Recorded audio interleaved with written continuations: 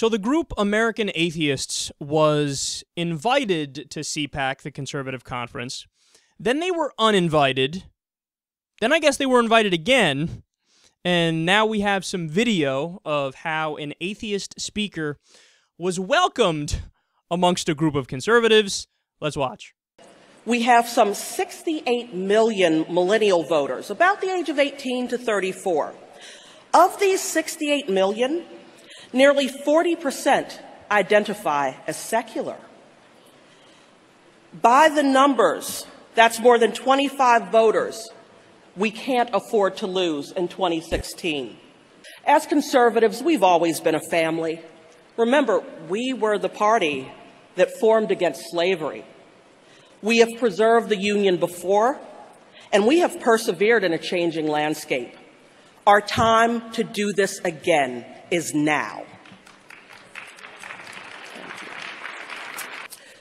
I invite you, come visit the American Atheist booth. Say hi to us. Grab one of our buttons. They're wonderful buttons. Let's do this together. Let's do this as Americans, one and all. Thank you.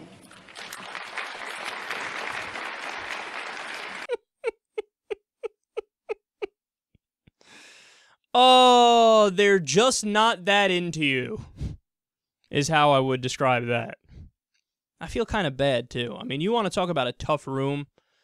Look, I think uh, I think I could give a decent speech discussing, you know, the tenets of atheism and the principles of secularism, and I think I could get people into it and happy about it and excited and stuff. But not that room. There's uh, no chance any speaker, no matter how dynamic on the issue of atheism, is going to get a room full of the deepest conservatives in the country to go, yes, secularism and atheism. They don't believe in it. They don't agree with it.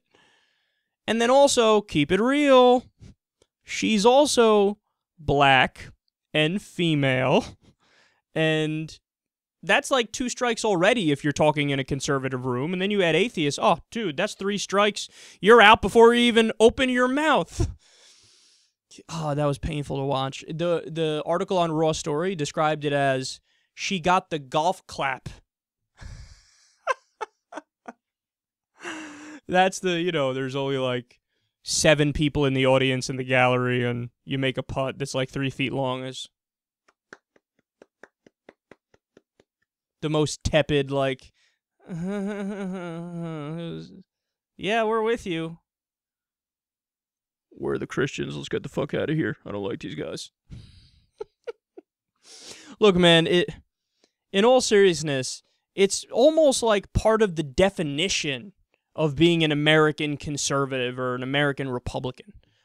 I mean, obviously, American Republican, it's, a, it's an American party, so clearly Republican is American. But I digress. Uh, being a Republican or being a conservative in America, that means uh, almost all the time you're a Christian. I mean, statistically speaking, what is it? Well over 90% of the time, you're a Christian. If you're a conservative in America or if you're in the Republican Party. I mean, it is what it is. It's almost a tautology. It's part of the definition. So, and then also she says conservatives, we beat slavery. No, you didn't. The conservatives were the ones in the Confederacy. The conservatives were the ones fighting to maintain slavery.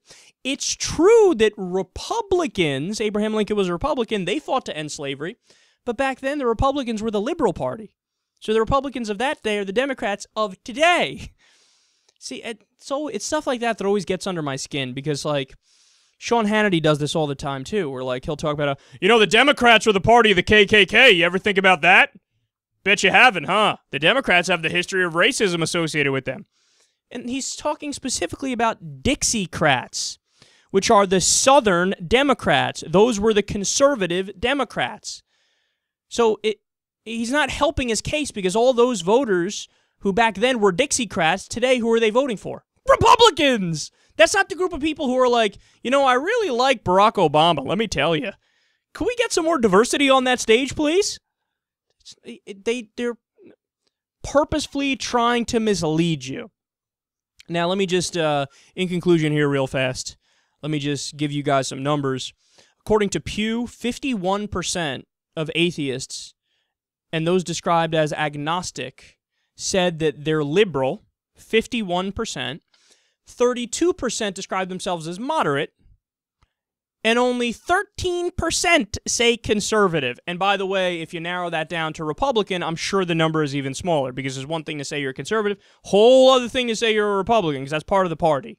And the party is amazingly anti-science and you know, in favor of all this weird religious shit and you're not going to get atheists that are in favor of that. So very rarely do you have an atheist Republican, which is why as I said, you have to feel bad for an American atheist speaker at a CPAC convention because that's the hardest room imaginable. They just, they dislike you before you open your mouth because they associate in their minds they associate atheism with immorality.